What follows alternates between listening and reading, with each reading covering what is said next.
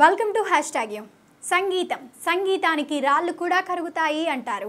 చాలామంది టెన్షన్ ప్రెజర్లో ఉన్నప్పుడు రిలాక్సేషన్ కోసం పాటలు వింటూ ఉంటారు. దీంతో స్ట్రెస్ని అధిగమించవచ్చు అంటారు. కానీ ఒక్క పాట మాత్రం మనుషుల ప్రాణాలను తీస్తోంది. ఎస్ ఆ పాట వినగానే ఏదో మైకం కమ్మినట్లుగా మారిపోయి ఒకటి కాదు రెండు కాదు వందల సంఖ్యలో ప్రాణాలు కోల్పోయారు. ఇంతకీ ఏంటా పాట? ఆ పాటను వినగానే ఎందుకు ఆత్మహత్య చేసుకుంటున్నారు?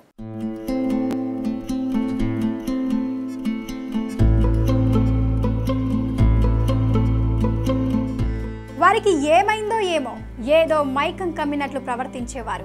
వంతెనలు భవనాల మీదకు ఎక్కి దూకేసేవాళ్ళు. ఒకరు ఇద్దరు అలా చేసి ఉంటే పోలీసులు దాన్ని పెద్ద సమస్యగా పట్టించుకునేవారు కాదు. కానీ ఆ ఆత్మహత్యలు పదుల సంఖ్యలో జరుగుతున్నాయి.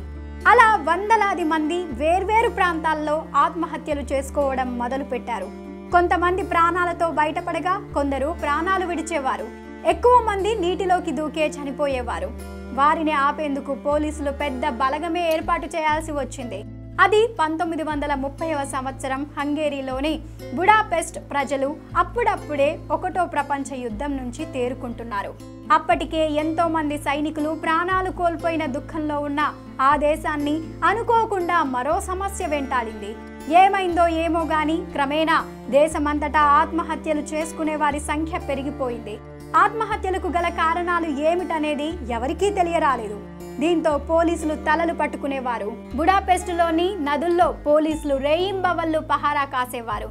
ఎవరైనా నదిలోకి దూకేస్తే వెంటనే కాపాడేవారు. ఇలా ఎంతో మంది ప్రాణాలను కాపాడారు. కానీ ప్రజల ఆత్మహత్య ప్రయత్నాలు మాత్రం తగ్గుముఖం పట్టలేదు. కేవలం బుడాపెస్ట్లోనే కాకుండా హంగేరీలోని ఇతర నగరాల్లో కూడా ఇలాంటి ఘటనలు నమోదయ్యాయి.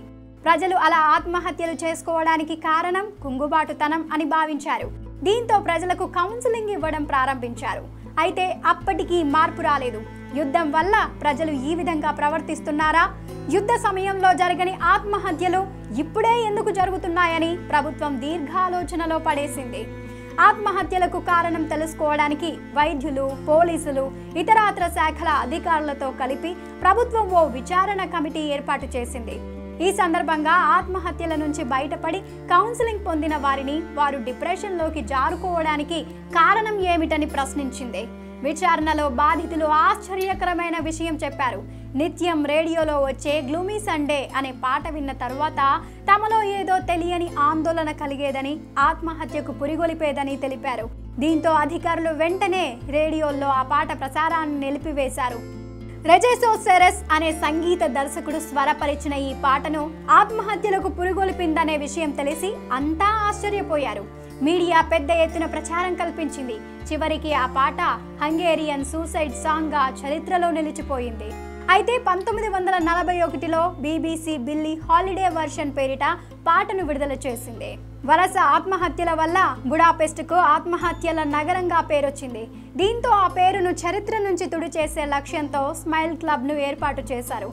ఇక్కడ ప్రజల డిప్రెషన్ తొలగించి నవ్వడం నేర్పేవారు. ఈ సందర్భంగా మొనాలిసా చిత్రాలతో పాటు పలువురు హాలీవుడ్ నటులు నవ్వుతున్న చిత్రాలను వారికి చూపించేవారు. ముఖం మీద చిరునవ్వు ఉంటే డిప్రెషన్ దరిచేరదని బోధించేవారు. పాఠశాలల్లో సైతం ప్రత్యేక శిక్షణ ఇచ్చేవారు. ఆత్మహత్యల సంగతి పక్కన పెడితే అక్కడి ప్రజలు స్మైలీ మాస్కులు ధరించడం మరోసారి వార్తల్లోకి ఎక్కింది. స్మైలీ లిప్స్ మాస్కులను ధరించి తాము నవ్వితే అద్దాల్లో ఎలా ఉంటామో చూసుకోవడానికి ప్రయత్నించేవారని అప్పటి పత్రికలు వెల్లడించాయి. అయితే అది ఎంతవరకు నిజమనేది మాత్రం చరిత్రకే తెలుస్తోంది. ఎందుకంటే అప్పట్లో వార్తాపత్రికలు ఈ అంశాన్ని సొమ్ము చేసుకునే ప్రయత్నంలో ఈ మాస్కులు అందించేవని సమాచారం. ఏది ఏమైనా ఒక పాట ప్రజల మనస్సుని వికలం చేసిందంటే నిజంగా ఆశ్చర్యకరమే. మరి బుడాపెస్ట్ ఆత్మహత్యలకు కారణం నిజంగా ఆ పాటేనంటారా? లేదా దీని వెనక ఏదైనా మిస్టరీ దాగి ఉందా? సినిమాల్లో బాధ కలిగించే పాటలు కూడా మనసు వికలం చేస్తుంటాయి. ఆత్మహత్యలు చేసుకోవాలనే ఆలోచన కలిగితే వెంటనే మీ మిత్రులు ఆప్తుల సాయం పొందండి. హెల్ప్ లైన్ ద్వారా కౌన్సిలింగ్ పొందండి.